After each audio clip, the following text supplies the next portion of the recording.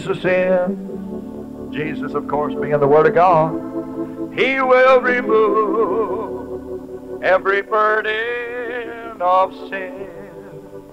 If you know Jesus wants to be your very dearest and sweetest friend, go ahead now and open your heart tonight and let His Word in. Oh, take, take His hand, take His nail scarred hand.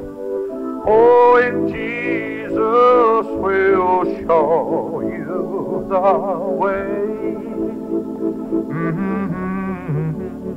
Oh, He may not pass your way ever again. That's why you must open your heart tonight and let His word in. Thank God.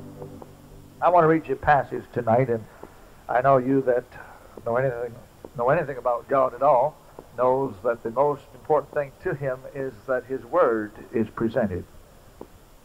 And then the next most important thing, of course, is the salvation of your soul. After that, you can put it in any priority you want to. Your aches and your pains are important to him, but not so much as the salvation of your soul, which comes through the preaching of the word. Hallelujah. How can they call on him whom they've not heard? How can they hear him whom they've not believed upon? How can they hear or believe without a preacher? How can he preach except to be sent? As it is written, how beautiful upon the mountain are the feet of those who preach the gospel of peace. So tonight, make sure your feet are beautiful and get ready to pass this message on tomorrow. Matthew chapter 22 and in verse 1. Matthew, the first gospel in the New Testament, chapter 22 and verse 1. And Jesus answered and spake unto them again by parables, and said, The kingdom of heaven is like unto a certain king, which made a marriage for his son, and sent forth his servants to call them that were bidden to the wedding, and they would not come. Again he sent forth other servants, saying, Tell them which are bidden, Behold, I have prepared my dinner. My oxen, my fatlings are killed, and all things are ready. Come unto the marriage. But they made light of it went their ways, one to his farm, another to his merchandise. And the remnant took his servants and entreated them spitefully and slew them.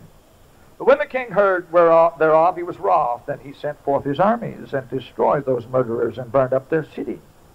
Then saith he to his servants, The wedding is ready, but they which were bidden were not worthy. Go ye therefore into the highways, and as many as ye shall find bid to the marriage. So those servants went out into the highways and gathered together all as many as they found, both bad and good. And the wedding was furnished with guests. And the king came in to see the guests. He saw there a man which had not on a wedding garment. And he saith unto him, Friend, how camest thou in hither, not having a wedding garment? And he was speechless. Then said the king to the servants, Bind him hand and foot, and take him away, and cast him into outer darkness. There shall be weeping and gnashing of teeth. For many are called, but few are chosen. Repeat the last short verse together with me. For many are called, but few are chosen. One more time, because I know, though you've heard it all your life, you still don't understand what that verse means. For many are called, but few are chosen. Lord, I thank you tonight that we are called of thee, and I thank you above all that we've been chosen by thee. And give us total victory tonight. Let the word of God find a lodging place in every heart, and let answers arrive by the moment. And we know they're coming now. Now, get ready, for thou art ready, we're sure, to confirm your word after it's been delivered. For you do not confirm Time Life Newsweek magazine, but your word. And we want to hear it. We thank you. Amen. Are you happy? Tonight we're speaking on the subject of the second call, the second chance, and the second class. Hallelujah. Some of them don't look at me. I'm no second fiddler. Well, you don't know. You might be second class tonight. Say, I'm first class A number one. That's what most preachers has been telling me. Well, we'll find out by the time the preaching's over. If you are first class, or maybe you are in that other group that was called last. Hallelujah. I would rather be last than to never make heaven. Most folks want to be first, but Jesus said something about the first being last. And he also said that the head would be the tail. He also said the last would be first, and the tail would become the head eventually. And it seems like the first condition I found myself in wasn't quite good enough to satisfy. For I was born once and didn't ask to be born, but I sure did have to ask to get born that second time. Hello. Now, you notice the preacher has bent his ear a few times tonight. If you're wondering why, he's listening for a response. Amen, oh me, or oh my, one of them will fit you. The microphone is portable. We can come down and pick out the quiet spot and preach. It has no cord on the microphone, which means that it's quite accessible and portable, and uh, nobody in the tent can escape us tonight. Isn't that a happy thought? Hallelujah to God. Yes, be better never to be born than never to be born again. Born once, you die twice. Do you believe the second death is a lake of fire? Is that what the scripture says? But if you're born twice, you may not have to die once because Jesus is on his way. Hallelujah. And so tonight, uh, I sure had to ask to get born the second time, and I, I'm in a different shape than I was to start with, and I think that's a, a different and a second category tonight. But now, this parable, and without a parable spake he not to any of his disciples, and do you believe you're God's disciple? A follower of Christ, that means disciple. Christian means Christ-like. The word church means the called out ones. If you get called out tonight, count it a big fat compliment. You might belong to the church after all. So don't get nervous if you're going to be called out. Hello? Ah, listen. So here is a parable that he speaks to his disciples. Now, whenever Jesus said there was a certain, you can bet your boots there was a certain. Some say, well, you know, the rich man Lazarus was just a story. No, Jesus said there was a certain rich man. And there was a certain Lazarus. And there is a certain lake of fire and a certain hell. Hallelujah. So with everything that God ever did, it was certain, steadfast and sure. That's why Joseph spoke to the butler and the baker, saying, the reason you've dreamed it twice, and to Pharaoh, the reason you have dreamed it twice, Pharaoh, concerning the cows and the corn, is because the dream is certain, and it shall surely soon come to pass. So whenever you have a double confirmation, it means it's absolutely certain and it's going to happen soon. That's what that means in Scripture, if you understand and interpret Scripture properly. Now he's speaking about this parable concerning the rich man's uh, son's wedding. And uh, aren't you glad you're going to a wedding? Uh, how many are going to a marriage supper table of the Lamb that's going to make the $100 a plate Democratic and Republican campaign dinners look like a hot dog roast? Hallelujah. Well, I'm waiting to go because, well, the bride is she who is the church who shall be married to the bridegroom who is Christ. Is that true? I love him tonight. Now, I know that there are a lot of different characters at every wedding. I was to many weddings, and I've seen a lot of things happen at weddings. I've seen a lot of people there. I've seen the in-laws and the outlaws. I've seen the photographer and the registrar. I have seen the best man and the ladies in waiting. Amen. I've seen friends of the bride there and some people sitting there just gawking, trying to make sure it was really happening. Taking a record of it so they'll know it's on record. Hallelujah. Some people were just skeptics and non-believers couldn't believe it was happening, but they showed up. So you see, at every wedding, there's a lot of characters there, but thank God the bride was there too. Are you hearing me? Oh, don't you want to be the bride and be at the wedding and be part of him? Paul says, I am jealous over you for godly jealousy. I've espoused you unto one husband, Jesus Christ the righteous. Now, this is why I would do anything I could to help bring your mind into captivity and thoughts into captivity to Christ and His Word tonight. This is why I would be against interference and you're letting your mind wandering and chewing gum, wiggling, writing notes, and thinking about what you're going to eat at McDonald's after church. Because God has something special for you, and I'm jealous of you for godly jealousy, Paul said. I want you to get this thing. Amen. Oh, if you're going to spend the time doing it, don't waste your time. Take advantage, full advantage of every moment of it. So it's a wedding that's going on, and it's the marriage of the king's son. Well, thank God we're going to it. Now, in the marriage of the king's son, the, uh, the king says, I've got my fatlings ready, my oxens are ready, the feast is ready. Jesus has a table spread where the saints of God are fed. He invites his chosen people come and dine.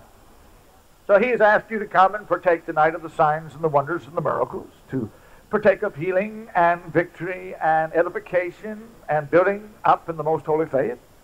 He's come and asked you to enjoy this open air meeting. The weather's nice and warm, and a lot of parts of the country tonight are freezing to death.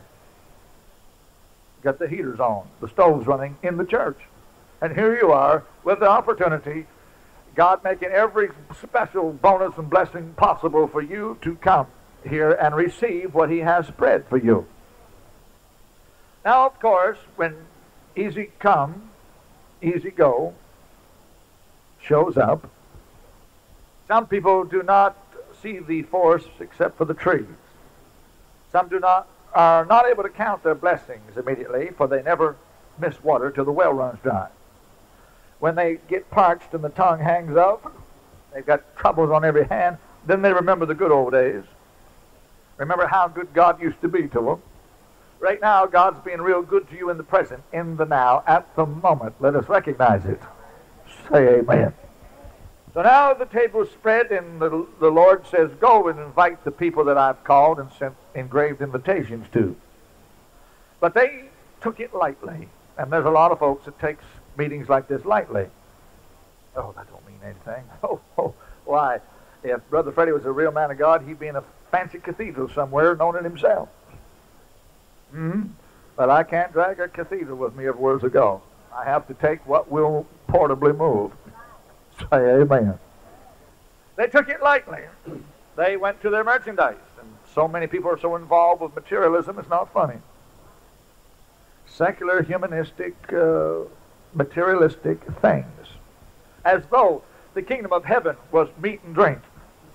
You'd think the kingdom of heaven was meat and drink if you took one trip down Highway 1. Hello. Wall to wall restaurants. Their God is their belly, the scripture said in the last days. But it's not meat and drink. The kingdom of God is righteousness and joy and peace and joy in the Holy Ghost. That's what the real kingdom of God's all about. And in the kingdom tonight, there's many things available. Oh, get some kingdom keys working for you. The keys to the kingdom that Jesus gave Peter and unlock the door. Every key unlocks some door. Get a hold of the right key and your door will be unlocked tonight. Oh, to your dilemma or you can lock it in the devil's face, how, whichever the case may be. Now, they took it lightly. They went to their merchandise. One went to his farm. One fellow said, I have just bought five yoke of oxen, and business cares choked him out. I bought a parcel of ground. Earthly cares choked him out. I married a wife. Family cares choked him out. Hello. Oh, got to go on a honeymoon. Well, honey, let's go past the moon the stars and every other planet. Are you headed that way? Hallelujah. Well, thank you, Jesus. So they took it lightly and they treated the servants that invited them despitefully. Mm, murdered them and stomped them and did everything they could. You know, you don't have to pull a trigger. All you can do is run your mouth. It's called character assassination. Say amen. All right. Now, of course, this was the first call and the first bunch in the first church and the first one who had the invitation to come, and they muffed it and they dropped the ball and they used up grace period and done despite unto the spirit of grace and uh, now they reached the point of no return and God washed his hands and said, I'll have nothing to do with them. Would you say they said? Well, one went here, one, Never mind them, said the Lord. Go out and get a second bunch. Mm. Issue forth the second call. Aren't you glad you got a second call one day? Why, my goodness, if you hadn't got a second call and a second and a second and a second and a second, probably a, a 1,002, you'd have never got to the altar, would you? You would have never made it to this point. God is merciful. He don't just call once, unless you just totally destroy it and uh, kill the unction and the, the leading and the uh, conviction and the tugging and the drawing power of His Spirit. That's the same as sinning against the Spirit. And if you do that, of course, you're beyond the reach of the Spirit. Hello? So now, a second call was gone out. I'd like to have a second touch tonight. What about you? I like God to do the thing twice. Again, second means once more. And last night's blessing's not enough for me tonight. I need one tonight. Oh, my horn hast thou exalted like the horn of a unicorn. I shall be anointed with fresh oil. You like fresh oil? I don't know one of you cooks that would ever put stale oil in the cake. Right? Oh, your husband would have something to say. None of you mechanics put stale oil in the crankcase. But when your wife broke down downtown, she'd have something to say. Say amen. It's fresh oil or nothing. And I'm looking for a fresh touch of God's Spirit on my soul here tonight. I'm thanking God for a second call. Hallelujah. Oh, blessed be God. The first time I saw Elijah, he was running from old Jesse. There was a lot of them Bell sisters, but Jesse was the worst. He got underneath the juniper tree and said, Lord, come and take my life. And God said, I'm not going to take your life. You haven't finished your job yet. I'm not going to come and take a chariot and carry you to heaven in a chariot yet. I've got things yet for you to do. And when you get them done, then I'll come get you, not until. Now, do you know why you're still sitting here? God ain't through with you yet. He had to go to the mountain and learn the voice of God. He had to learn who to pray for and anoint for king over different countries. And he had to uh, anoint a successor to follow up on him. When he left, he had to leave Elisha behind. So until you learn the voice of God and learn how to pray and who to pray for and what to say, and leave something behind you for a succession and for a legacy, a mantle and an inheritance, you're not going no place. I said, now everybody talking about heaven is going there yet. They've got things to do before they go. That right? So he's underneath the juniper tree and he goes to sleep. Of course, not everybody nodding at you is agreeing with you.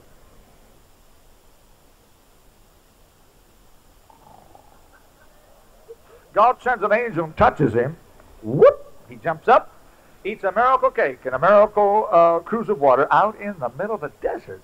Here it shows up, and he eats it, and he drinks it, and he feels so good, and he goes back and sits underneath the same old juniper tree again. Naturally, he's going to go back to the same old slumber again, sitting in the same old rut again, rocking in the same old rocking chair by the fireplace with the television running while the tent meeting's going on again. Say amen. Are you hearing me? So God is so merciful that he sends a second touch, and the angel comes the second time and hits him, wakes him up, says, get up out of that rut, boy, because anytime you go back to what you, you was doing before God touches you, you're going to be right back in the old rut again. You've got to make expansion. You've got to grow and develop and mature. Move. Don't sit underneath the same juniper tree again. Hello. I mean, I don't want to catch you folks doing the same thing you did today after tonight's service. Hallelujah. So the angel touches him the second time, eats another miracle cake and another miracle cruse of water, and he goes on the strength of that meat and drink 40 days and 40 nights to Horeb, the Mount of God. Now his successor Elisha promises this widow woman, uh, the, not the widow woman, but the great woman of Shunem. She was not great because she was overweight, but great in faith. Hallelujah. He promises her that she's going to have this son.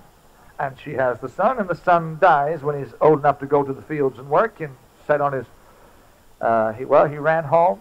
His daddy sent him home. It's always mama's boy when there's something wrong with him. Hmm? Daddy sends him to mama and tells him that it's mama's boy now when there's something wrong with the boy. That right? So he sends the boy home to the, from the field and he sits on his mama's lap till noontime and he dies. So she goes and finds the prophet on, on the top of Mount Carmel, and he comes and to the house and touches the boy once, and the flesh of the child waxes warm. That's what the second touch of God's Spirit will do for you tonight. It'll warm up your flesh. Or I should say the first flesh. The first touch will warm up your flesh. But it was the second touch that did more than warm the flesh. It raised him from the dead. Let me repeat that again. He touched him once, and the flesh of the child waxed warm, but there was no spirit in his body. Some of you folks are warming up to this revival meeting already, but you need some spirit in your body. Hallelujah. It took the second touch. When he stretched himself out upon the boy the second time, he sneezed seven times. His spirit came back to his body. He stood up, and Elisha gave the boy back to his mother. So aren't you glad for the second call? Hmm? The first batch of folks weren't worthy, but if you're here tonight, you're worthy. You must be interested or you wouldn't have showed up. There's nothing we can say about those folks that's not here to hear it. And so there's no sense of uh, talking about them to you because you're the folks that's here. You're the second bunch of fiddlers. Hallelujah. oh, I love him, don't you? All right? Jesus is praying for this blind man. He can't pray for him in town because there's so much unbelief in the town. You know any towns like that? Well, he carries him out to the city limits, and the city limits is there. He says, Come here. We've got to get outside of town. There was a definite perimeter that he had to take him outside of. Did you know that the Satan's kingdom is so highly regimented and organized that every principality and every spiritual wickedness in high places and the rulers of the darkness of this world and each power, demonically, has a perimeter and they have an area that they control. And it just happened to be that in Bethsaida, it was one of unbelief. Isn't that right? Unbelief ruled the city of Bethsaida. Jesus had to take the man out of town to pray for his blind eyes. At the city limits, then he could pray for him. And suddenly, his eyes sprang open, but he claimed he saw men as trees walking. Jesus said, Oh boy, you're worse off than you was before. Come here, you need another touch. Hello. Your vision's crooked and distorted and topsy-turvy, backwards and upside down. Like a lot of folks' vision, a lot of church members' vision that's only got one touch. Hmm, they know how to run everything, and the way they see it, it ought to be this way, and the way they see it should be some other way. And uh, they don't even see straight yet until they have a second touch. they get another touch on, then they'll start seeing right. Say amen. I think it's time for another second call tonight and a second touch from God here tonight. God moving for you again. That's what the second means. Moving on your behalf once more. Hallelujah. Oh, the double, the double portion. That once again blessing. Hallelujah to God. Yes, he'd been living in a town of unbelief so, so long that even when he got healed, he couldn't hardly get healed right. Hmm? He didn't. He saw men as trees walking in. Some of you folks wonder why you don't get perfect miracles right away. Some of you wonder why. Why does it take so long to get my healing through to me? It's because it's a progressive work because of where you've been living and hanging around. A lot of the atmosphere has been rubbing off on you. That's right. And Jesus touched him once more, and his vision cleared up. And every city's got a prince that runs it. That Bethsaida had unbelief. Sodom had homosexuality. Athens, Greece was idolatry. Corinth was uh, carnality in the flesh. Hallelujah. Uh, Philippi was witchcraft. Is that right? Capernaum was pride. Exalted unto heaven, thou shalt be brought down to hell, said Jesus of the city of Capernaum. Every particular city had a prince that ruled it. Would you like to know the name of the devil that runs Fort Pierce? You wouldn't? Well, then I won't tell you. How many would? Well, a few's got enough nerve to hear. All right, the devil that runs Fort Pierce is this one. You go and take an inventory of what everybody in this town does. What their worst besetting sin is in this city, which is uh, uh, in mass or uh, generally speaking, it's the one thing that most people do the most of in this town. When you find out what that sin is, then you'll have the name of the demon that runs the city. Did you understand that? Right. By their fruits ye shall know them. You don't get peaches off a pear tree. I mean, either make the tree corrupt or make it good, Jesus said. You won't get good fruit off a corrupt tree, and you won't get corrupt fruit off of a good tree. Now, you might be the poorest discerner of spirits in the world, but if you're a good fruit inspector, hello, you'll be able to tell what it is because of what it does. Amen? What is in the spirit realm always bleeds over into the physical realm. It will emerge, and you'll be able to read it. Oh, do you love His Word tonight? Thank God, I'm happy. All right. Glory to God. It was a second call, that was for sure, that Jesus sent out, and now we're here in the tent enjoying the supper. Somebody said, I thought you thought about the marriage supper table of the Lamb. Well, you've got to get practiced up. So go ahead and chomp. Chew. Oh, said John, the little book you gave me to eat, Jesus, was sweet in my mouth, but bitter in my belly. Of course it is. It always sounds good when you hear it preached. But wait till you swallow it and digest it and have to live it the next day. Then's when it really kills your flesh. Say amen. Oh, hallelujah. But you got to eat because we're practicing up for the Last Supper. Someone said they had the Last Supper just before the cross. That was their Last Supper. My Last Supper is going to be my first supper throughout eternity, and it's going to last on and on and on and on, age upon eternity upon aeon. Hallelujah. Some people have had their last supper, but my supper is going to last forevermore. Aren't you glad? Are you feeding tonight? Man shall not live by bread alone, but by every word that proceedeth out of the mouth of God. Paul says, Let him that thinks he's spiritual recognize and admit that the things I speak and teach are the truth. Hallelujah. A lot of folks think they're spiritual, but you can really tell they are by whether or not they receive the word. Someone said, Well, that's the problem with you, Brother Freddy. You don't preach the word. You're not standing behind the pulpit reading it off page by page, note after note. Don't have to. Many years ago, I laid it in my heart that I may not sin against God. It's laid in there, and the Holy Ghost is just tapping that library shelf and pulling out what you need to hear because He knows who you are and what you need is and who is here tonight and knows just what to give you. Isn't that right? So here is the great supper, and the second batch has showed up, and they are appreciating the supper. And notice the second group, who they were. Oh, Lord, they were lame and the halt, and the blind, and the poverty stricken, and the people had everything in the world wrong with them. Poor, but rich in faith. Possessing nothing, but inheriting all things. Uh, consider your calling, brethren. Not many noble are called, not many mighty, not many great men after the flesh, but who have God chose? Look around and see. Look at each other and you'll see who God has chose.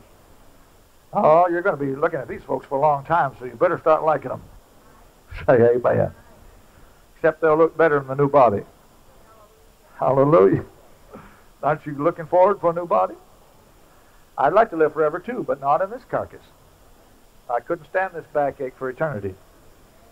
I'm going to have to live for eternity. I want a good body to live in, like Jesus had when he came out of the grave. Hallelujah.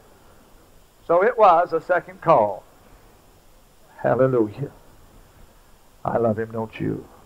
Praising the name of the Lord. Glory be to God. And there was a second uh, class of people showed up too. I don't mind being second class because that only means I'm going to be first class someday. The world thinks I am anyhow, so they'll find out one day I'll be ruling the world.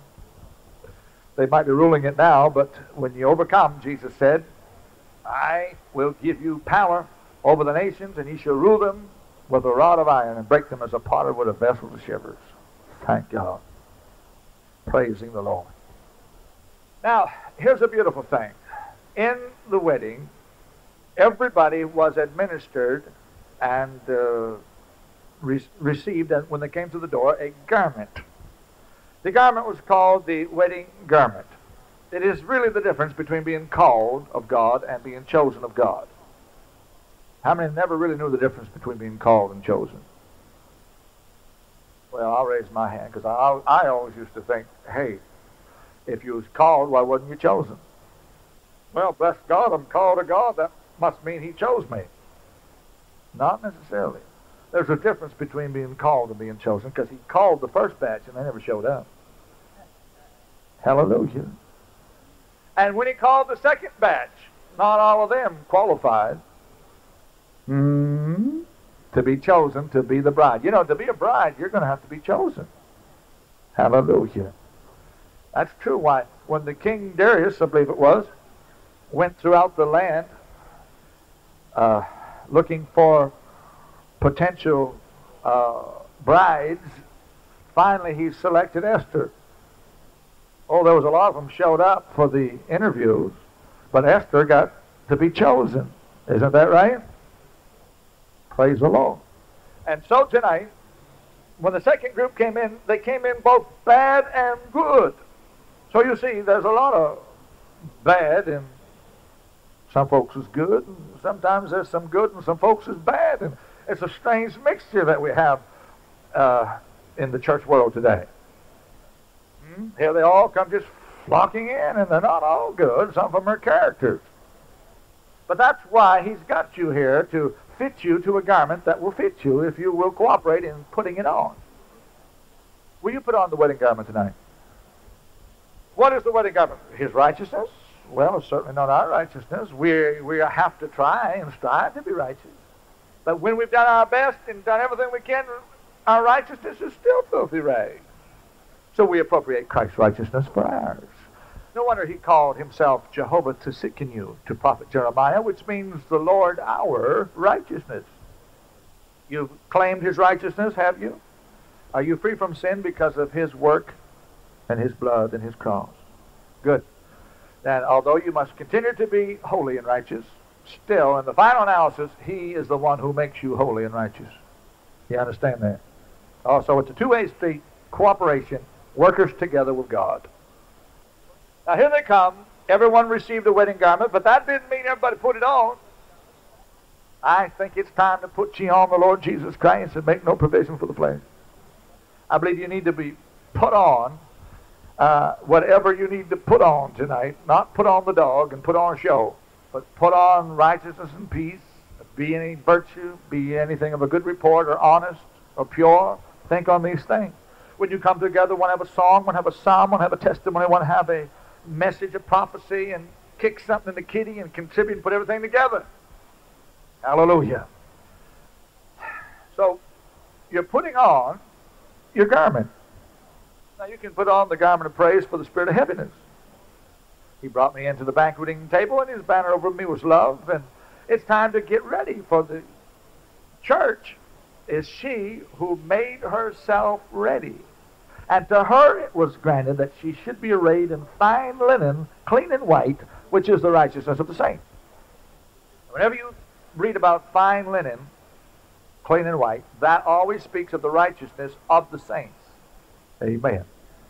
Now remember, the saints have got to be righteous. They've got to strive to be righteous and be righteous on their own. But remember, it's He who put the fine linen on them. So that's Christ's righteousness that He's putting on you because you was righteous to start with. See, it's again cooperation. Now, when Jesus came back on a white horse in Revelation 19, back to earth again, uh, the armies of heaven were behind him, the Bible said, riding on white horses, clothed in fine linen, clean and white, which are the righteousness of the saints. So that means there's some saints in heaven returning to earth with Jesus, riding white horses like he is. Because fine linen always speaks of righteousness of the saints. And I'm glad to go to heaven. I'm glad to return to work upon the earth and rule the nations. Somebody says, oh, You mean we're going to be lodged back here again? I want to be working here for the thousand years of the millennial reign. You catch me? I will be commuting, if you please. My home is in heaven, the New Jerusalem, which is suspended. The nations that are saved shall walk in the light of her. My mansion's there. I'll be going home after work. I'll be, well, what are you looking at? I have no trouble commuting from heaven to earth in a moment. I'll have a glorified body then. As a matter of fact, that's no small potatoes or big potatoes because I'll have to go far beyond there to the Father's planet some day to carry out some instructions that God sends me on. I'll be back in a moment. Say amen. That too much for you to grasp? Such is the power of the glorified body. It can do everything your soul can do. The only reason people limit God and are finite in their reasoning is because your carcass and your flesh has drawn you down so low that you can't even think straight. It has hindered you. Bars of bone have imprisoned you. This old leaden, dead weight of the flesh stops you from doing anything. Can't even stay awake to listen to preaching. Say amen. Can't concentrate on it. That's the curse of the flesh. You should get out of the flesh and leave that old lump laying on the bed over there, wondering who that ugly guy is. And your soul gets out here in the middle of the room, seeing everything, hearing everything, hollering, yelling. No one can hear you. No one can see you. You and the angel are very, very glad to go and to leave here. You're ready to leave. Hey, let's get out of this place. We can't contact the physical world no more. Let's go to a world where the furniture is compatible to the soul. Hallelujah.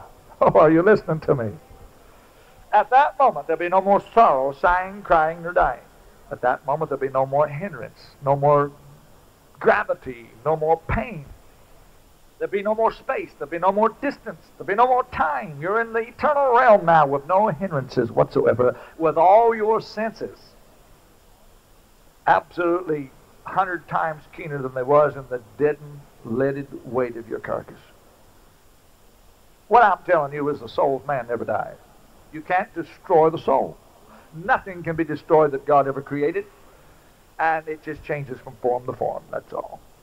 Everything that's here came out of the spirit world by the spoken word of God, anyhow. Is it little wonder it's going to go back one day into the dust and disintegrate and dissolve? And we will look and say, Where did it go? Well, it just went back where it came from. Oh, glory. Since everything came out of the supernatural world anyhow, I think I'll feel at home going back into it. This is why I'm trying to be supernatural tonight. I'm going to spend more time there than I'm ever going to spend down here.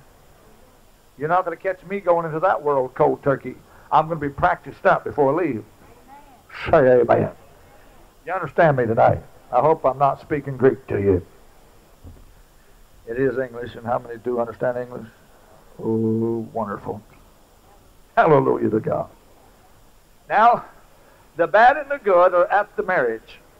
Hmm. How are we going to make the bad good now? By putting on the garment. And I'm almost through here. And God's going to work miracles, and it is 9:10 for the benefit of all the clock watchers, so it's not late. Hallelujah. Why, great grandmother found out how early we're getting out of church these days, she'd turn over in a grave. It's Saturday night. Hallelujah. It's also Saturday night in heaven. Heaven's clock's a split second to midnight. And there's one rich man that's just crying for a drop of water. Just let me warn my five brothers. God says, no, they got the word, they got the prophets. They won't listen to them, they won't believe it if one raised from the dead. And that means tonight, if you don't believe what you're hearing preached, you wouldn't believe it if we raised the dead here. You wouldn't believe it. See that? Hallelujah. The bad and the good, they had to put on the garment. Do you want to get your garment on tonight? That's what I'm really getting down to here. Get on the garment, the wedding garment. Glory to God. For the Lord is coming into the banquet now and he's looking everybody over. And he found there a man with no wedding garment. After gave him ample time to put it on. Don't think God's going to drag you squawking and scratching and kicking and thrashing to the altar. You're going to have to put it on yourself. You're going to have to do your part yourself. If it don't fit, uh, he's he's willing to take you down a buttonhole lower. Say amen. If it's not an exact fit, the shoe don't quite fit, he'll just keep on fitting you to fit your garment. Hallelujah. He might draw you up a little bit short, snap your garter a few times, but you'll fit when he's done working on you. Hallelujah. Now, he sees a man after plenty of time who has not put on his garment, and he calls him friend. For you see, God's not against you, and he's not sending you to hell. You put yourself there if you're not ready. Hello. Friend, how'd you come in here and not have on a wedding garment? And the friend was speechless. Do you know that folks that have no wedding garment on have nothing to say?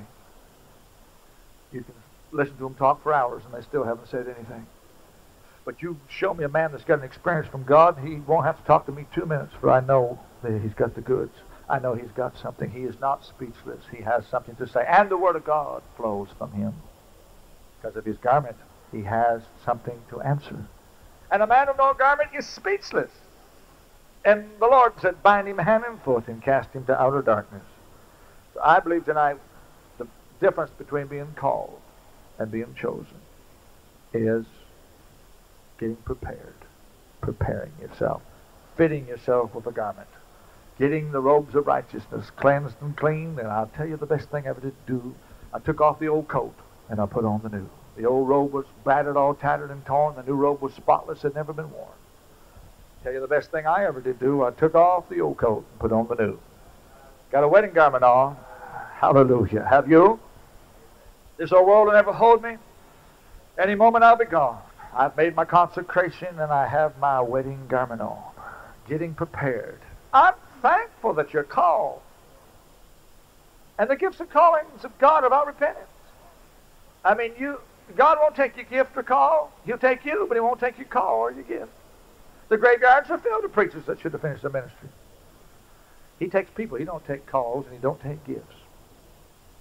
He'll, he'll take you and get you out of the way so the call and the gift can be free for somebody else to pick up.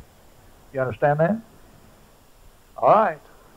So you've been called, and if you don't repent and do your call, God's not going to repent of calling you. You're the guy that's got to repent and go do what God's called you to do if you expect to make heaven. Am I right? All right then. So if you're called, that's no big deal. The whole world's been called. Are you going to be chosen to be the bride? The difference is the garment. Please get it on and don't be speechless. Don't be bound. Don't be tied up hand and foot because you didn't get yourself ready. Prepare yourself while the Word of God's going forth here tonight because He's sending out a second call. Hallelujah. Oh, He's looking for a second group. Maybe they're second class, who knows, but the last will be first before it's over with. He's ready to give another, a second touch onto you tonight. He's going to do it again. That means he's going to do it the second time. And aren't you glad he's doing it to you now? Thank God. I could preach more, but I have yet many things to say unto you, yet you cannot bear them now. That's what Jesus said. So I'm going to stop right here and pray that God would clothe every one of you tonight, give you a second chance, second call, second class. Hallelujah. Say praise the Lord. Aren't you glad he called you twice? Aren't you glad to give you another chance, a second chance? Hallelujah. The way some folks has muffed it and messed up their life, it's a good thing God gives you another second chance.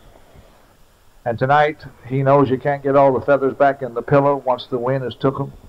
But if you come just as you are without one plea, he'll pick you up at your mess and at your point of difficulty right here. Clean you up, start you all over again, and tell you to keep your nose clean. From now on, say amen. It's right. Amen to God. God, as we preached the other night, God does not require of you what you cannot give. So, little widow woman, go get the one pot of oil in your house, and I'll use it, saith God, to fill up all the empty vessels of the neighborhood. She had that, so God used it. What she didn't have, God couldn't use. And what you can't do, God don't require. But what you can do, God requires that. Come just like you are, without one plea. It's another call. It's another chance. It's another class of people. Thank God. It's not the first ones. The Jews were the ones the gospel was preached to, but blindness came on them so the Gentiles could be grafted in. And all the Gentiles said amen. Some of said, well, I'm uh, quite affluent in this society. Oh, you're still second class. You're a Gentile. Say amen. You're a wild olive branch been grafted in. If God spared not the natural branches, He's sure not going to spare you if you get heady, high-minded, or up, uplifted. That's what Paul preached. Is it good gospel that you've heard tonight? I'm stopping here. We're a second-class group, us Gentiles, but we're going to be first one day. The church is His heavenly chosen. It is the Jew that is His earthly chosen. That's the Jew. The church is His heavenly chosen. We might be second class, but we've been called the second time. Hallelujah. Glory to God. And we've got a second chance. Aren't you glad you've got one more chance before Jesus comes? In fact, I feel second touch. I know He's for me tonight. And He will even call me friend if He has to throw me out bound hand and foot. And it's my own fault because He passed me a garment and I didn't have the brains to put it on. Say amen. You want to be chosen or you just want to be called? How many wants to be chosen? Called's not good enough. To be chosen, put the garment on that he gives you. Someone said, I don't like that preaching. Well, he give it to you tonight. Put it on. Eat it. Receive it. And take it to heart. Hallelujah. And after you put it on, then thank God you're going to be the bride and you're going up in the first resurrection. On such the second death has no power. Hallelujah. I'm quitting right here. Not going to preach another lick. I want every soul in this tent that wants to get fitted perfectly for a wedding garment, rise and get your wedding garment on tonight. It's called preparation. If You do not feel totally prepared. You might feel called to God and saved, but you don't feel totally prepared to enter into heaven and be the very bride of Christ. I'd say the wedding garment counts. Stand up and get one put on you tonight. Hallelujah. I'll pray as soon as you stand. Who needs the prayer? Some of you are not going to stand, and that shows the difference between the bride and the friends of the bride. Difference between somebody who wants to be chosen and somebody just satisfied at being called. Going to show that some folks, well, we'll come, we'll show up to heaven, we'll show up to the marriage, and I'm not just going to show up to heaven, I'm going to show up as a bride. You know what's going to get me that? I'm putting my garment on tonight, my wedding garment. Hallelujah. He's going to come in and say, Hey, how come you didn't put it on? I can't say I didn't have one because he gave me one. Fact, I can't say nothing. I'll be speechless and I'll be bound and I'll be cast to outer darkness where there's weeping and gnashing of teeth. That's the scripture tonight, Matthew 22, the parable of the king's son's wedding. Hallelujah. I want every other person to get with it and get your wedding garment on by standing. You that wants the wedding garment, rise. I'm praying for your soul to be fitted perfectly with a wedding garment. Don't sit there and tell me you're perfect and ready to go because I know better. Hallelujah. I give two altar calls every night. This is the first one by invitation. The second one is by ear. I go and get them by the ear, so God will get you one way or the other, so I'd stand up voluntarily if I was you. Hallelujah. Lift your hands up over your head while we pray. Lord Jesus, tonight I'm praying a prayer for every soul in this tent who stood and in their standing they conceded and admitted they needed to be fitted a little more perfectly with a garment that's called a wedding garment. Oh, give them preparation. Let them prepare to meet their God. Let them prepare to make heaven. Prepare not to just show up to the marriage, but to be the bride. Hallelujah. Oh, glory. Many called folks have come, even the bad and the good, but it's the wedding garment people that's got something to say. That will be joined unto him and married to him that day.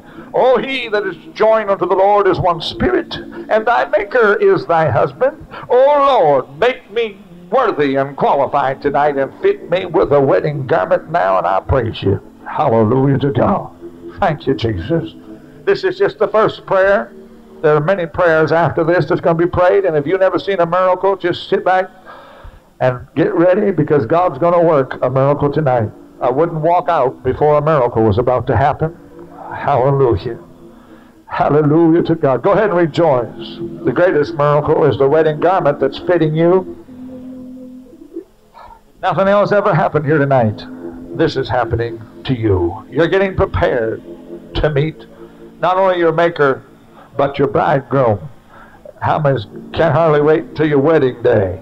The church shall be married to Christ. Right now, she's espoused. That's why Paul said, I'm jealous over you for godly jealousy. I've espoused you to one husband. We're not married to him yet, we're just espoused. We're in the in between intermediate state between earth and heaven, between being in the world and not being in heaven yet either.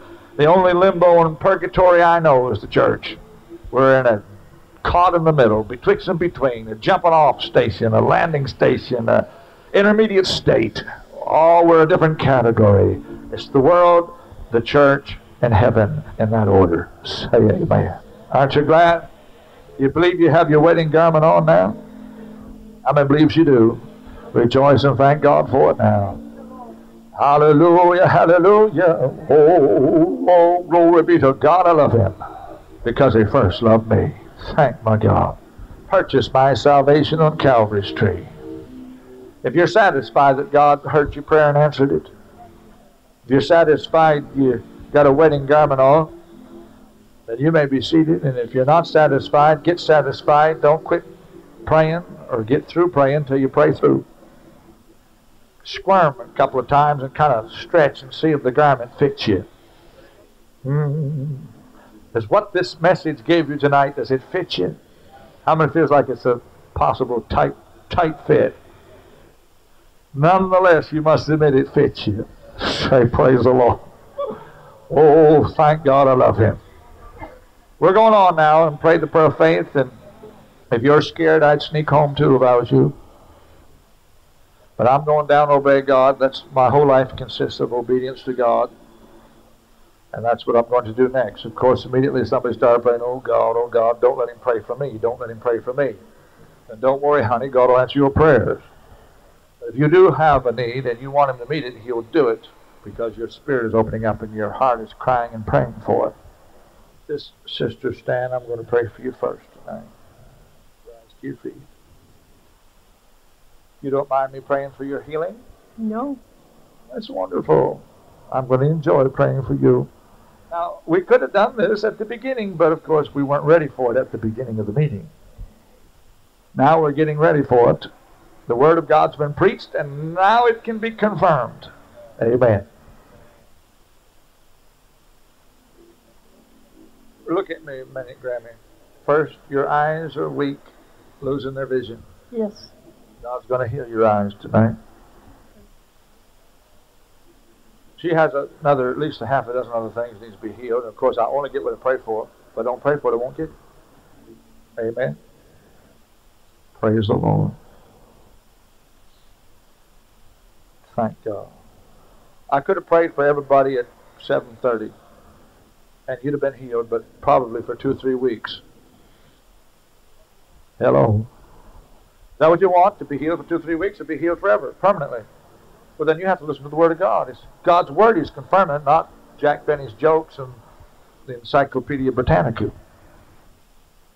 Now, Grammy, listen. God's going to heal your eyes, and you also have some trouble in your blood. Is that right? Mm-hmm. It sure is. There are two things that bothers your blood, and the first is a fluctuation in your blood pressure. Amen. The Second thing is the sugar balance in your blood.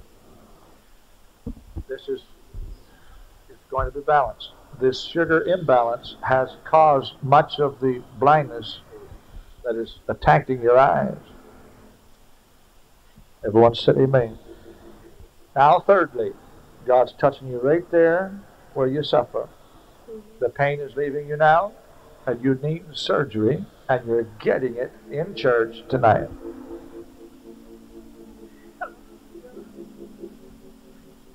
There is one, two, three, four, really, because sugar and the blood pressure are two different things, but it's in the blood. Her eyes, and where she needs the surgery. There's four things. Now, do you want me to stop there or pray for everything you need? I want to be made whole. In other words, you won't let me stop. No. Well, I was going to quit, but she won't let me. Well, looks like I must continue to pray specifically, to receive specifically. Ye have not because ye ask not. You're also weak in your ankle bones. Is that right? Amen. Now, how do I know these things about you? The good Lord's told you. That's certainly the truth because you never told me, did you? No, sir. Never met before? No, sir. You didn't talk before church? No, sir. Nobody around here and talked and sent messages and wrote notes. And No, sir. I didn't pay you nothing to come in here and do this. No, sir. Must be God, all I know. Make no two ways about it, friends. There are gifts of God, genuine gifts of God, still on earth today, regardless of what you've been through with whosoever and so and so. Hallelujah. Oh, thank God. Now, my sister, again, in your lower back, right here Amen. and there. Is it Amen. true? Amen. Two things again. You strained your back lifting and working.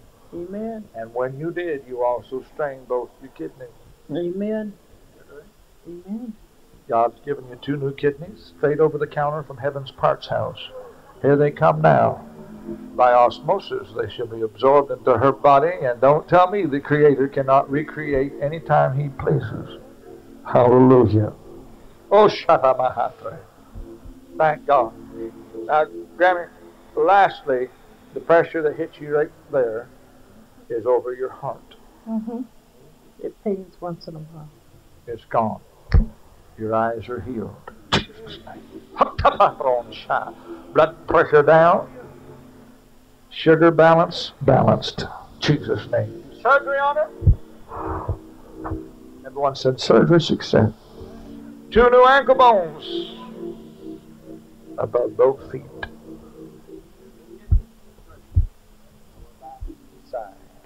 Blessed be God is done. Hallelujah to God. Well, when she gets back to earth, we'll find out what all did happen. Boy, rise, God will touch you. Bless you. Take a step of faith. You believe God can heal you too? Yes. Raise your hands up to the Lord. Look upon me now. There comes to you, first of all, a little irritation in your eyes, in one eye, particularly your right eye. Starts in the corner of your eye. Just like a little spot, a little rock starting to grow. That's going to clean out tonight. Do You believe it? Yes. All right. And I want to see it stop here before it turns into a cataract. In old age, you'd be surprised what things like this can turn into. Yeah. Keep your hands up. Secondly, your nerves are going to be healed. Tonight, you'll have a whole new set. Don't that make you feel good? Yeah. Now, shall I just stop with the eye and the nerves? Shall I pray for every need you got? Well, I have a lot of other needs. Otherwise, I can't stop. Don't stop now. Oh, then I won't. I point this out and make special pains to point it out because it's not a bunch of guesswork and saying a bunch of things. One or two has to be right. You see, it's all got to be right, or God won't do none of it. It's not the spirit of error; it's the spirit of truth, and He'll not stamp His approval upon a lie. Hallelujah. And again, you must pray for what you want, or you're not going to get it. Your, the first thing I noticed about your sister was that your blood is low. Your blood is low in its content, which causes you.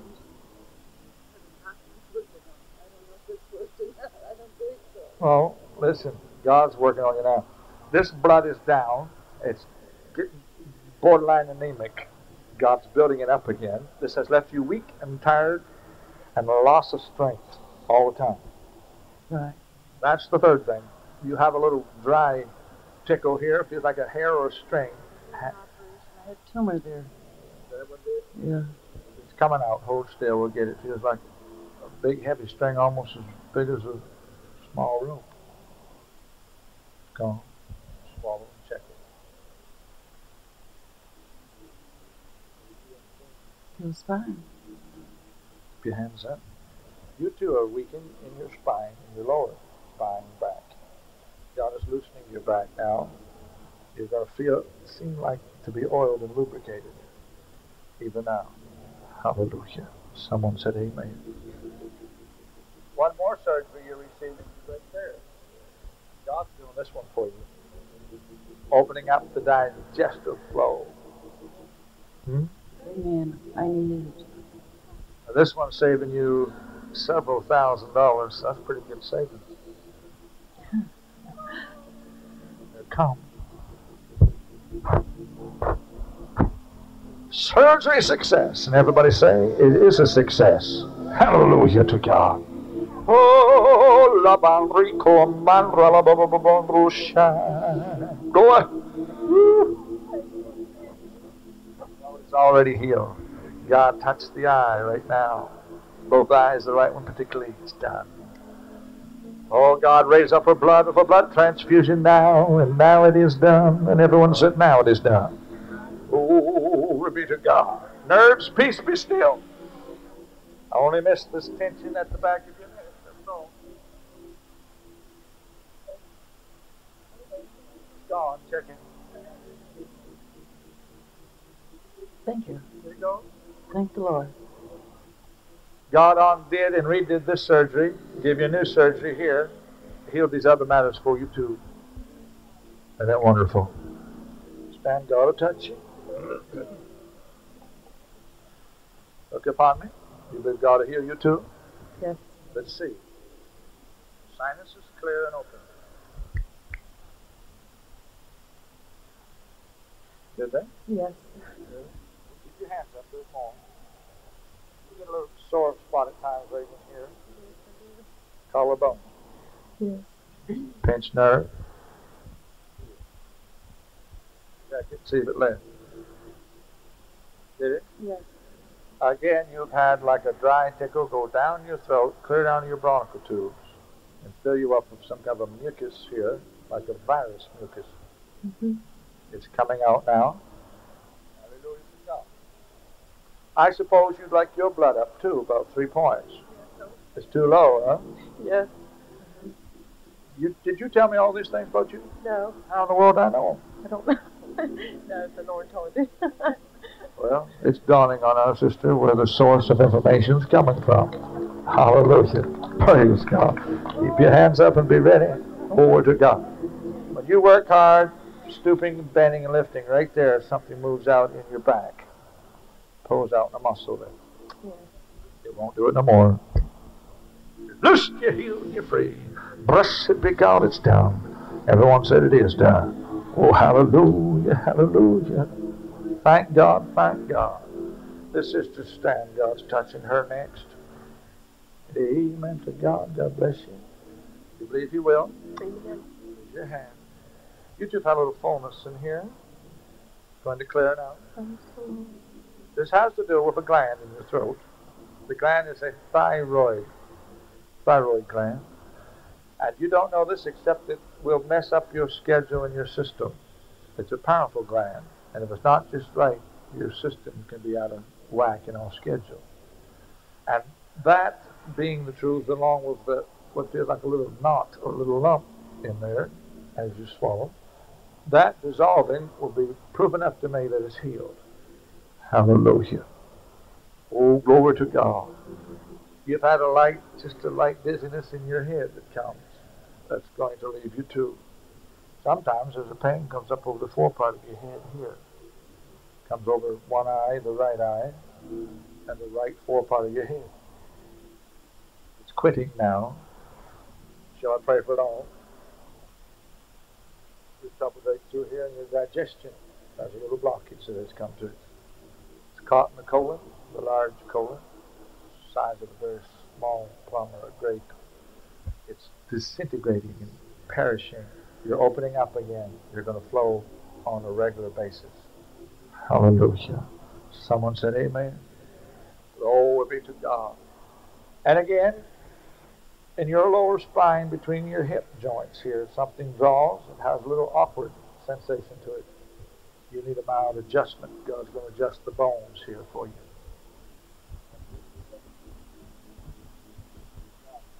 Thank God.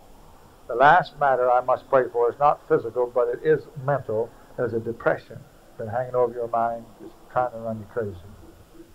me. This depression has its domestic, domestic home and family, and it's like related among the kin. God is going to alleviate your mind tonight. You can't solve the thing anyway. You can't help yourself or them. It's in His hand. He'll have to solve it, which He will do in His own time and soon. Oh, glory. I was going to pray just then. Something caught me right here in my chest.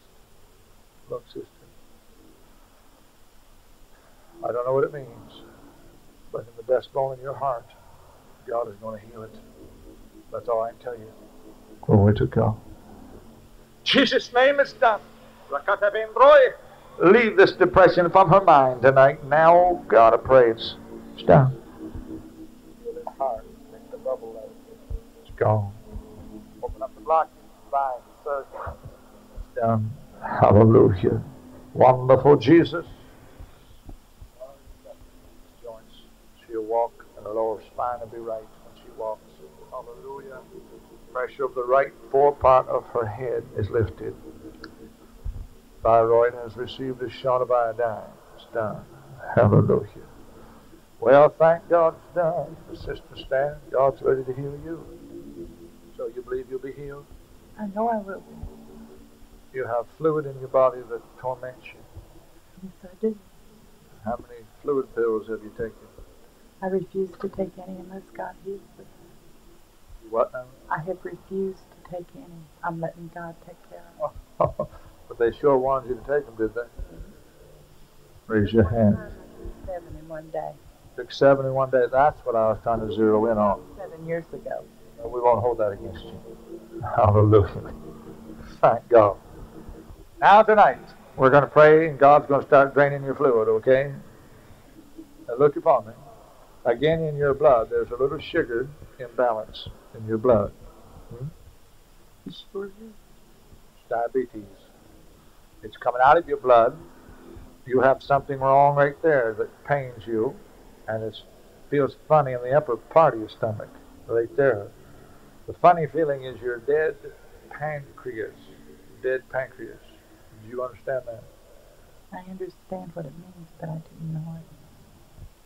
Well, your pancreas would have made the insulin for you had it been alive. You understand now? God's going to give you a new pancreas. Well, speaking of new organs, you need two new kidneys. Two new kidneys also. Would you like them? I sure would. Trouble you there, there, there, and there. It's going to cease now. Everyone said, Praise my God. Bahasha. Ah. Suffice it to say, your blood pressure is coming down too. It goes four or five points high. It's coming down. Everyone said, Yea, Lord. Now you have wondered if your heart is bad. You've worried about that. You were working not very many days ago and you felt something tight hit you here. You stopped in the midst of your work, laid a hand on your heart, and prayed for yourself. Did you? I sure did. In fact, I heard what you said and you was praying. You want me to tell you what you prayed? Yes. To, oh God, God, don't let me have a heart attack. If anything happens to me, what would ever happen to this family? Is that your prayer? You pray those words? Yes, I did. The God of heaven that heard your prayer in secret is rewarding you openly. You're healed. Hot toes for Kalamberry. Your heart's healed. Your pancreas is raised from the dead. Hallelujah. Woo! Sugar come out of her blood. Blood pressure go down five points and it's done. Hey, hey. Food is great. Hallelujah. She's all right. She's just under the spout where the glory's coming out. Ah, hallelujah. Oh, glory, stand God will touch you. You believe to heal you? Your nerves has been bad. You're getting a new set. Fear has tormented you. Fear has tormented you because you just don't have confidence, self-confidence like you should. Because of people close to you, they keep pushing you down, keep running you down. That's right. They they have no confidence in you, and it's rubbing off on you. You're going to walk out of here with a barrel of brand new self-confidence tonight. God's going to just dump it in you. Hallelujah. Your nerves are being hit. You have poor circulation in your blood. The blood's too low, moves too slow, and circulates too slow. It's coming up. Your eyes has gotten hazy, and there's nothing wrong with your eyes except your circulation's too bad. That's all. Come out here. You also have something stiff starting in your knees, in your kneecaps. Hmm? Right. There's a three-in-one oil can coming down from heaven right now. We're going to oil both kneecaps. It's done. Thank my God. Oh, hallelujah, hallelujah, hallelujah, hallelujah. Thank God. You have an occasional cramp strikes you there, almost like a spastic, gastric cramp. And then there's days that you don't feel it no more. But when you do feel it and it gets bad, you have a worry in the back of your mind concerning cancer, the fear of cancer. Is that right? Yes, it would him. And there's some people in your family that died with it. And that has helped to make you fearful of it. God's taken the fear out of your head. There's not going to be no cancer in your body. And there's no cancer here. That's only a gastric attack that you get. You understand? And you have a tiny lump right there in your throat when you swallow. Swallow now. You swallowed it.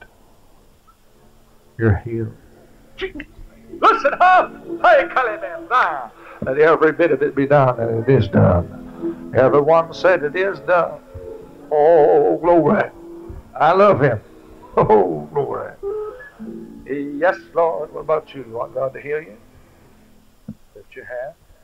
You're not very old, but you have a smothering tightness hit you in your chest, across your breathing. It's gone. You've been wondering about your heart. Is your heart bad at your age? God is healing your heart, so we'll never know, will we? Hallelujah. You have something that pains you in your feet and the bottoms of your feet and in your lower spine at the same time. And you get it from standing on cement floor. Is that right?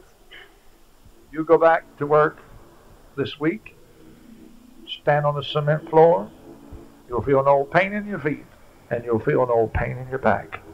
He calls Shatabahatra. Shall I stop or pray for it all? Go. You're the power, don't you? Look upon me. Your blood pressure moves on you. It goes a little high. It runs in your family. Your eyes are hazy and have a little blur to them. You're doing some fine work with fine print at times, and you're not being able to see everything. God's healing your eyes. You're bothered right in here with a burning sensation. It affects your bladder. It's a bladder infection, and your bladder's dropped. God's bringing it up and clearing the infection from you now. This burning infection is, is specifically a yeast infection. There it goes. Let it be healed in Jesus' name. Thank God it's done. Right? God heal you too? Raise your hand. Look upon me. You have a sort of a dry and scratchy uh, sensation gets in your eyes, in the lids of your eyes. Yes. You have granulated lids. That's what that is. Here, they're healed. Christ's name, they're healed. Jesus' name. You have something like feels like Charlie horses or muscle spasms hit you in your back, in your upper back, between the shoulder blades. They're all gone. Step out here. Square your shoulders and check them. Did they leave? Yeah. Go ahead and cry. It's all right. Stay here. There's more. Hallelujah. You have sinus blockage in your head. It's opening in your nasal. It's clear. Did it open? Yeah. You have had low blood too, but only like two to three points low. You need iron, iron, iron in your blood. Did you understand? Right there, you have a spasm, a pain that hits you in the female tract, which is in your womb or your uterus. Yes. It's gone because your blood's healed. Go ahead and praise God. It's done. Everyone said, Praise you, the Lord. Oh, oh, oh, hallelujah. I love Him. You believe this is the way to have church? Did Jesus have church like this every day? Glory to God. Rise. God will touch you, my sister. Aren't you glad you came? Yes. Raise your hand. We're going to pray. God is, first of all, there is a little weakness in your eyes, and we want to pray that God will strengthen your sight. Okay? It's going to be done. One said, Praise the Lord. Circulation is a little bit needing improved in your body. Circulation. Poor circulation coming back up, coming to normal. Everyone said, Praise you, the Lord. Sometimes you're just a little lightheaded in the top of your head. That little lightheaded dizzy spell shall cease. Glory to God. Everyone said, Amen. Glory. The pains that come to your legs will not return because in poor circulation, which gets into the legs so easily, the circulation is healed. Your legs will support your weight, and you'll be able to get around fine. Hallelujah. Blessed be God. Ah, yes. Everyone said amen. Glory to God. Thank God. Again, I keep coming back to the circulation. Cross your heart down this left arm. There's more life and feeling and flow going to come to it. Inasmuch as when you sleep at night, you'll be able to sleep on this side just as well as you do on this side. God is touching a very small thing in your wrist, your right wrist. Now, these are small things you could live without, but you might as well have them. The big thing now for you is spiritual. And it is this God is going to take you deeper into the Spirit, into supernatural things than you've ever been before, or you've ever been in a particular church that you once attended. You're going to go farther into the things of God than you've ever done in your life. You want to. Do not be afraid of it. Every day it shall increase. God, I thank you for all our healings and the little healings and the itty bitty things, but God, anoint her and carry her farther into God, into the supernatural realm of the Spirit. As we're getting closer to go to heaven, every one of us, may we be more practiced up every day in the supernatural. Take her farther into God than she's ever been. A death has come to you. Begun tonight. Everyone said, Praise the Lord, it's done. Hallelujah, hallelujah. Oh, glory be to God. Rise. God's touching you again tonight. Now, God's touched this little sister many times, but every time He does, she gets another dose and another chapter deeper. Hallelujah. Now, God has turned your life around. You are filled with joy when you were so depressed you didn't want to live. You've been so happy and so filled with joy. Yet you have one fear. And the fear is that this joy will suddenly cease. It'll suddenly disappear and you'll be back where you was before. But that will not happen, will it? It's not going to happen because we decree it shall not be. God, this is not a dream she's living. This is reality. In the name of Jesus, may she go higher and filled with more joy than ever before. And may she lose not one jot, nor whit, nor part of it whatsoever. In Jesus' name it's done. Hallelujah. Oh, carry on in God and shout. Praise Him. Let Him take your tongue and speak with the tongue of men and angels. Oh, glory be to God. I love Him because he first loved me. Stand, God will touch you. You believe he will? Yes. Raise up your hand. You do have a little dryness of the throat here. You want to get rid of that? Yes. Let's pull it out here. Got it? Everybody said, I didn't see the string. You should have been looking in the spirit. What's the matter with you?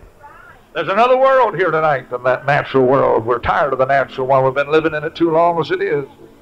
Hallelujah. Well, that's clear. Thank God and across your back, spine, lower back, something that feels like a straight jacket, like a band right here. Mm-hmm. Just unbuckle that. Everyone said, there it goes. Pretty heavy straight jacket at that. Say amen. Glory to God. You do have some sinus stoppage that comes through your head. Yes. Opening. You have dryness in your eyes, in the lids of your eyes. Yes. More circulation lodges in your body. God's healing your circulation. You have had the odd cramp that comes in the lower tract. It shall cease. And there's nothing there, so do not fear it. There's nothing there. Hallelujah. And everyone said, Amen. She's healed. Blood circulation, come on. Oh, listen. You've already unlocked the straitjacket, Lord, and healed her throat.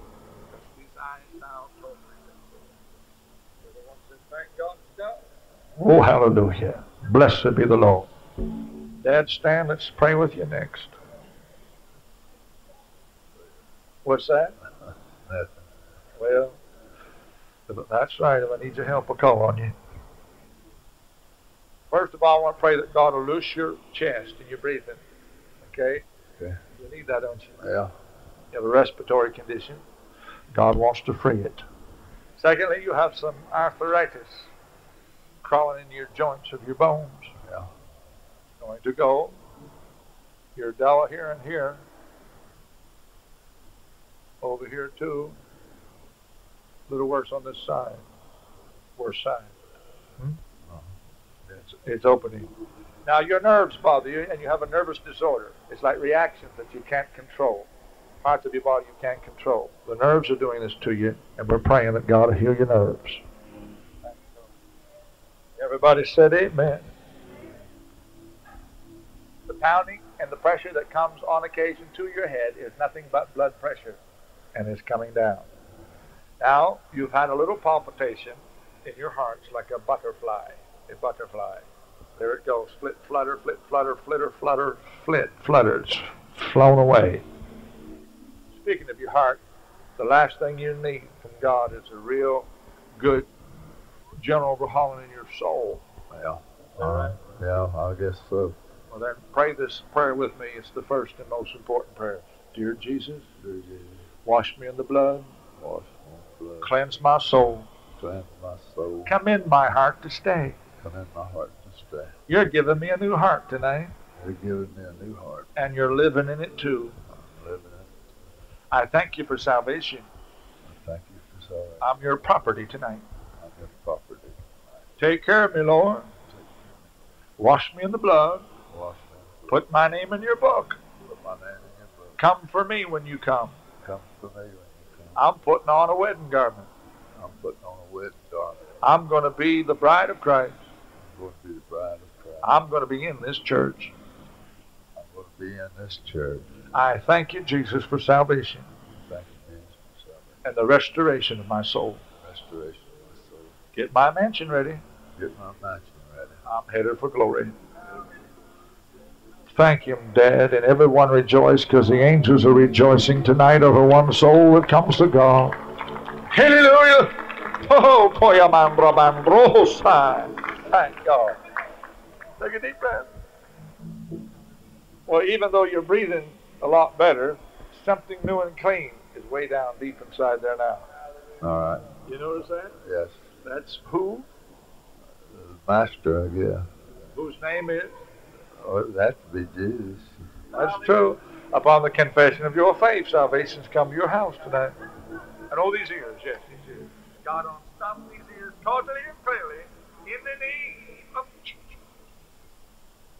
It's open over here. Loud and clear, you hear that? Loud and clear over here too. Uh-huh. Rejoice. Meet me in heaven. God's not only healed you, but He's saved your soul. Thank you. Glory to God.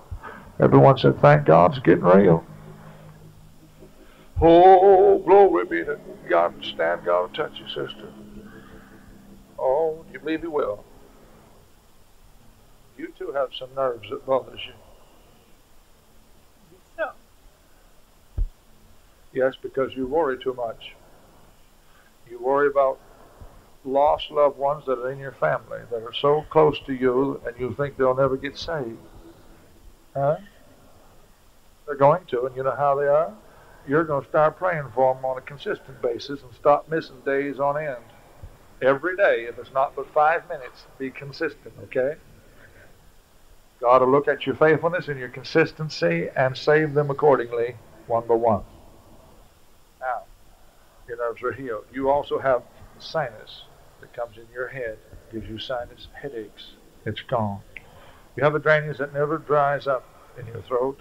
God is drying it up. You have something like a kink in your back. Your back goes out of whack down in the lower half of your back. God is straightening this for you, taking it away, making it new. Everyone said amen. Mild infection bothers you by times, originates out of your bloodstream, but uh, you will feel it in the lower abdomen of the female tract, like a burning sensation. This is a yeast infection too. And it only comes on occasion, but it's left on this occasion. It's gone.